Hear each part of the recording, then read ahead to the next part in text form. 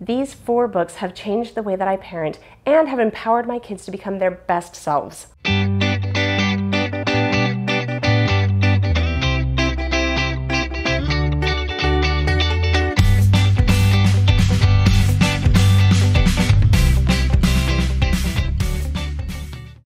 Have six kids, and when they were just babies, we had a lot of problems with them trying to communicate because they wanted certain things when they were young.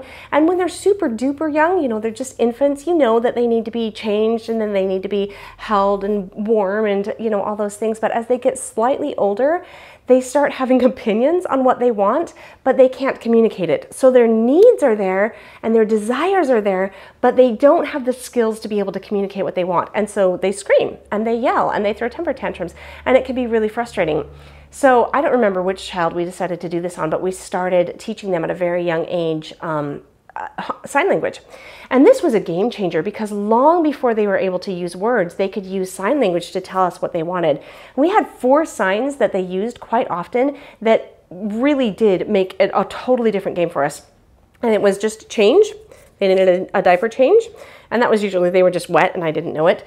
Um, or more and eat. Eat, this is milk, so they would sign that for eat. And then they all love to rub their blankets. And so this was the sign for blanket for most of our kids. Um, and those four signs would just really enabled them to be able to say, This is what I want, and to communicate that with me. And then I could give it to them because I wasn't keeping it back from them just trying to be mean. I just didn't know what they wanted. And so as soon as we could communicate, it made everything so much easier. Just like that, I have found that there are four skills that are taught in these four books that have been absolute game changers for us when it comes to interacting with our kids and helping them to communicate what they need with us and for us to be able to communicate with them the skills they need to get better at life and to deal with their emotions and with all of the things that they need. These things have really, really changed my life as a parent and uh, my kids' lives too, because it helps them know that they're in charge of how they feel and they're in charge of what they can do. So I want to go over these four books with you today. They're all by Nicholeen Peck. And these are four skills that she was taught when she was um, fostering kids uh, several years ago. And she also taught them in several different venues. But this book is perfect to teach it. The color, the pictures in it are wonderful. The storyline, it's a poem. She tells it in a poem format, and it's just really lovely um, format to teach these skills. So the four different skills that each of these books, each book teaches one skill, and the skills are following instructions, disagreeing appropriately, accepting a no answer, and accepting a consequence. If your kids, when your kids learn how to do these four skills really well, it will get rid of temper tantrums, it gets rid of power struggles, it gets rid of um, not being able to express their feelings. They're going to be able to say, hey, this is why I want what I want, and it helps them be clear on what they want. And so it really helps them be in control of themselves. But it's all about um, self government that the point of all of these skills is to learn to govern yourself. Learn to govern your thoughts, learn to govern your emotions, learn to govern your words, learn to govern your body language. And as your kids get older, you want them to have these skills. This makes such an enormous difference in their ability to interact with people and their ability to just move forward in life because these are the skills that you need to be able to deal with people. In fact, if you talk to employers today, they say, we can teach you all the skills that you need here, all these hard skills, but you need some soft skills. You need to be able to know how to communicate. You need to be able to show up on time. You need to be able to um, really have self-government. And so that's what these four books are about. Okay, I want to talk to you about each of these four books. They are beautiful. The, they're hardback and they're just gorgeous. This one is about disagreeing appropriately. And all four of these books follow very similar um, patterns of behavior. So you don't have to memorize long lists of lots of different skills. There are simple skills. This one on disagreeing appropriately has five steps. You look at the person with a calm face, voice, and body. You say, I know or I understand, and then their point of view. Say what you think, and then drop the subject. So what this is going to look like in your life is say that you're disagreeing on what to eat for dinner. And so your child says, no, mom, I really hate whatever it is. And um, you say, well, we're going to eat it anyway. And they say, may I disagree appropriately? You always have to say yes.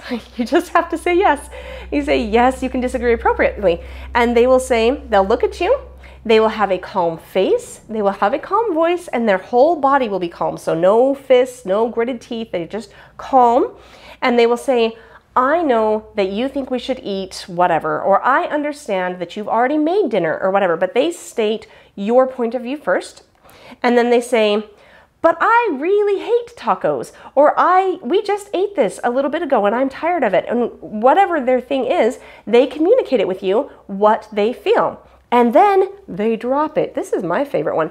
But here's the thing, and you don't have to do this, but I think it's most powerful if you do almost always let them win on this. If it doesn't matter and they have chosen to go through the skill of disagreeing appropriately, like I really wouldn't change dinner for them. That would be one that I, I stuck on.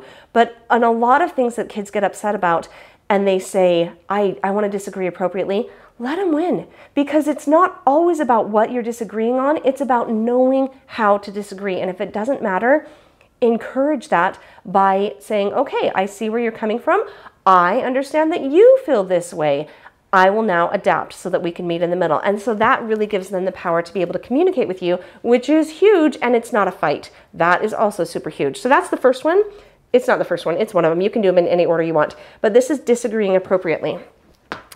The next one I want to cover is, I mean, these are so cute. These are named after each of her four kids. Porter earns a quarter. This one is accepting a no answer. Now, in life, there are so many things that are no answer. When we lose a game, when we lose something that we we had, you know, we, we actually lose it. This is what happens in this book. He loses his quarter. Um, when we when we ask for something and we get a no answer, no, you're not going to get that. We don't allow that. Or when we just want something and circumstances don't allow us to have it. You want to be first on the swing and somebody else got to be on the swing. That would be considered a no answer. Anytime you want something and you don't get your way, that is a no answer. So how do you deal with that? That is what this book is about. And it again follows basically the same pattern as the first one. You look at the person with calm face, voice, and body, say, okay, or disagree appropriately, which is what we just did. Um, drop the subject. And that's it. So when you go through these, again, they have to say, in this case, you've got, you know, whatever, you've told them no and or they've just received something in their life that is a no. And they have to look at the person who's told them no it's usually mom and then they have to say with a calm face voice and body they either say okay or my kids will say yes mom or they will say may i disagree appropriately? So those are the two paths. You either say okay and be okay or you disagree appropriately and be okay that way. Either way, you're in control of your emotions and you can decide how you want to respond emotionally to this situation, this frustration, because that's what a no answer is. It's facing frustration, and that's what life is. It's frustrating. And so, this is a super important skill to learn how to just deal with the things that are hard in your life. And these can be taught at a really young age and retaught as they get super old. um, the next one is following instructions. Now, instructions can be obviously, hey, I need you to go do this for me, or they can be what are kind of standing instructions. We as a family do I don't know, we wake up on time and then we, we eat dinner and we eat meals together uh, as a family. These are standing instructions. So we don't have to all the time say, this is our thing. We have to do this, guys. Uh, you have to do this again. It's just a standing instruction, and everybody knows that they need to do it. So those are the two kind of instructions: the ones that you give in the moment. Please go pick that up. Please come over here or whatever, and the ones that are just regular part of being in the family. So, how this one goes? You look at the person with a calm face, voice, and body. Say okay or disagree appropriately, and do the task immediately.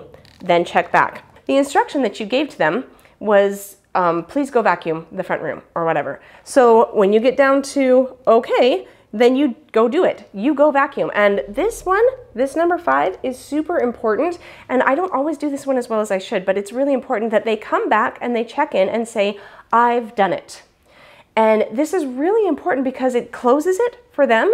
They know that now it's done. They've honored themselves. They've shown honor to you. You have accepted that they are complete. And, and it's really great because you can say, Good job. You have completed the task. I'm really proud of you for not only doing what I asked you to do, but to do it in the right way that you were supposed to. Because you could go vacuum the floor and take hours about doing it and have to be asked over and over and not do a very good job with it. So there's the task of vacuuming and then there's how they go about it. And this is really the how they go about it. And you want to be sure to say, that is a separate thing that you're doing really well. And I'm proud of you for handling that. That is something you need all through life. So the last one right here, this is her last son. This is accepting a consequence. Life happens and sometimes we don't disagree appropriately. Sometimes we don't obey. Sometimes we don't accept um, a no answer. Any of these things. And so then we get a consequence. When, the, when you hand a consequence to your children, and the consequence is not an angry thing. It's not something you're doing to get back at them or to punish them. It's simply a natural result. And you say, I asked you to vacuum the floor and you didn't vacuum the floor. And so now you need to have a consequence, which means generally you have to do something, another chore.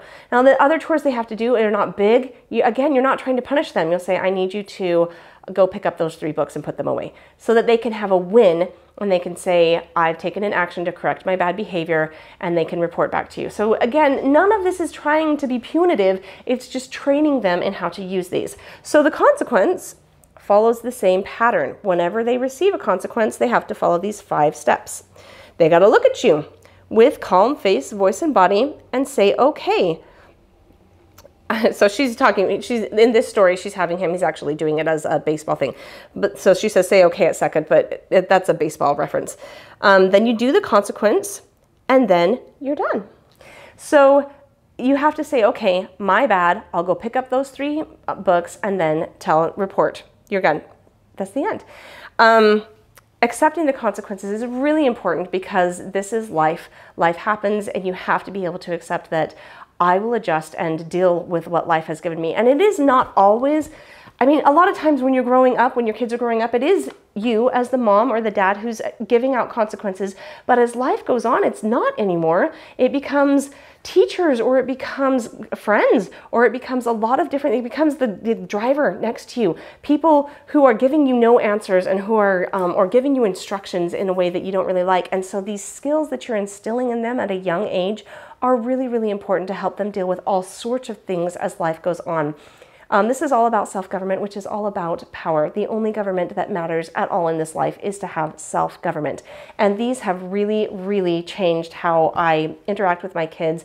It takes out a lot of the um, the strife. We're no longer fighting. We're just working on skills. Just like we're working on, you know, tying your shoe or we're working on learning how to cook. We're just going to work on how to accept a no answer. And once we say this is just a life skill, it stops being an emotional thing and it starts being something that we can work on together and win together because we're on the same team together. And these books have made a huge difference for me on that. You can buy these on Amazon. I am not sure if she sells them directly. I will say they are really hard to find lots of places. Don't buy them for more than 20 bucks each because you can get them on Amazon for that. But I've seen them other places that are really, really expensive. And I just think they're in short supply and that's why they're expensive, but I'm not sure. Anyway, don't get ripped off. But they are really good books, and they're I'm I'm glad to own them. Uh, but it was something that took me a while to buy uh, because I knew the skills, and so we just practiced the skills without the books. Now that we have them, I really do love them. They're a part of my foundation week. They're something that we start every school year with. We go over them, we review them periodically so that kids remember these skills because they are something that you need to remember over time and practice over time. Um, I hope this has been helpful to you and I hope you consider subscribing or encouraging others to subscribe so that I can beat my husband when it comes to subscribers. First one to a thousand wins. So thank you so much and I'll catch you on the next one.